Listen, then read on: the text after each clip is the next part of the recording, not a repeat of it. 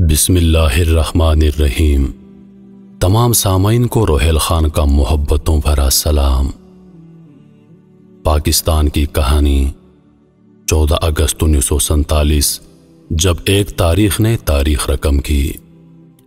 बरसगीर पाक हिंद की आज़ादी 15 अगस्त उन्नीस को मुकर की गई थी। लेकिन फिल हकीकत पाकिस्तान को आज़ादी एक रोज़ पहले 14 अगस्त को मिल गई।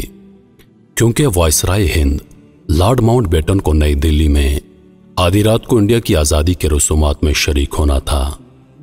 इकतदार की मुंतकली कराची की एक तकरीब में चौदह अगस्त को हो गई थी, लेकिन पाकिस्तान के रेडियो स्टेशन रात के साढ़े ग्यारह बजे तक यही ऐलान करते रहे कि यह ऑल इंडिया रेडियो है, जबकि पूरी कौम बेचैनी से खसूसी ट्रांसमिशन का इंतज़ार कर रही थी। उस वक्त पाक हिंद के गली मोहल्लों में आग के शोले बुलंद हो रहे थे। फायरिंग हो रही थी। खंजर जनी जारी थी और तेजाब की बोतलें भर भर कर एक दूसरे पर फेंकी जा रही थीं। पाकिस्तान पैदल आने वाले काफलों और ट्रेन में आने वाले लोगों को रास्ते में ही रोक रोक कर गुरो दर गुरो कत्ल किया जा रहा था। मुसलमान अपनी पाक सरजमीन की जानब हिजरत के लिए कोशां थे। लाखों कुर्बानियों का मजहर पाकिस्तान, जिसकी जानब लोग अपने अहल अयाल और मामूली साजो सामान लिए रवा दमा थे। लेकिन यह सफ़र हिजरत भी लाखों सदमे दे गया। हर कदम पर कत्ल आम का डर, भेड़ और रश में ना जाने कितने जवानों ने अपने बूढ़े माँ बाप खो दिए। कितने ही माँ बाप के लखते जिगर उनके सामने बिछड़ गए और कितनी ही बहनों को असमत जनी का निशाना बनाया गया। आज भी दास्तानें ज़िंदा हैं। बहुत से ऐसे लोग भी हैं जिन्होंने आज़ादी के काफलों में लावारिस बच्चों को पाया और फिर अपनी औलाद की तरह उनकी परवरिश की। किसी को किसी की कुछ खबर ना थी। बस फ़िक्र थी तो खुद को हिंदुओं से बचाने की, अपने वतन की मट्टी पर जल्द अज जल्द कदम रखने की।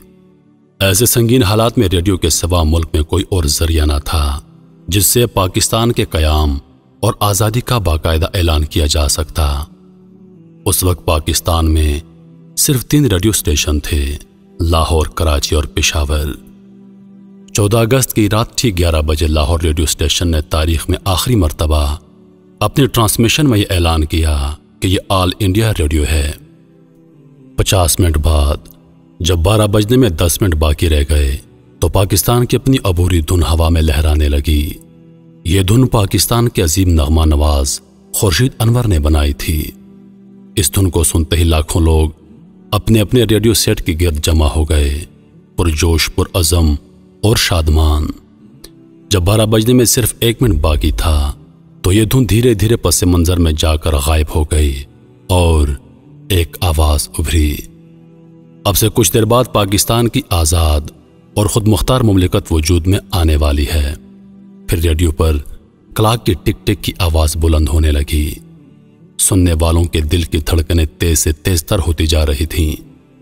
पहले अंग्रेज़ी में आवाज़ आई this is Pakistan broadcasting services और फिर उर्दू में आवाज़ आई। ये रेडियो पाकिस्तान है। यह आज़ादी के साथ साथ पाकिस्तान की नशरी अलमिया की हिंदी से उर्दू में तब्दीली का इतना बड़ा वाक़ था कि लोग इस कदर जज्बाती हो गए कि सभी एक दूसरे से गले मिले। और एक दूसरे को मुबारकबाद दी, हत्या के बाद लोगों ने तो रेडियो पाकिस्तान को टेलीफोन करके मुबारकबाद पेश की।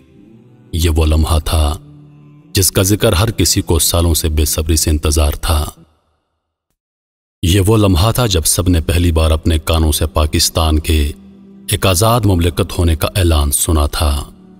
उसके बाद इंतहाई खुशकुन आवाज़ में कुरान पाक की सुर फतह की इब्तदाई आयात की तलावत की गई, जिनका तर्जुमा है कि, ए मोहम्मद, हमने तुमको फतह दी और तुम पर अपनी नेमत पूरी कर दे और तुमको सीधे रास्ते चलाए और अल्लाह तुम्हारी ज़बरदस्त मदद करे।